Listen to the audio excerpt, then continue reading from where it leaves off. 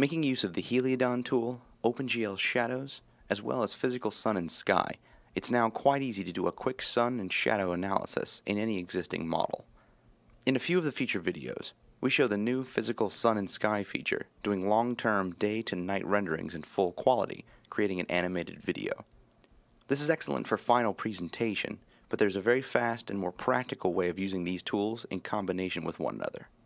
These techniques can be used for both interior and exterior shadow analysis. In this exterior example, we have a simple model that a client wishes to upgrade with solar panels.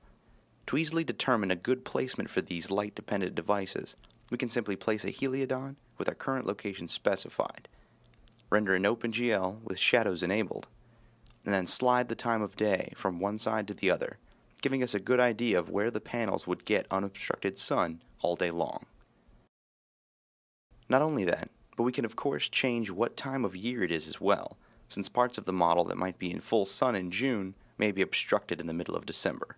This can be used not only for modern technology such as solar paneling, but also for more traditional purposes such as sun porches and greenhouse placement. In this interior example, we can see exactly which windows allow what kind of light in at various times of the day. With OpenGL shadows on, you don't need to wait for complex and lengthy renderings. You can quickly slide around the time and date, giving you a precise location of sunlight with minimal effort on your part. Thank you for joining us, and don't forget to visit kbase.vectorworks.net for other video tech tips and other technical articles. Thank you, and have a great day.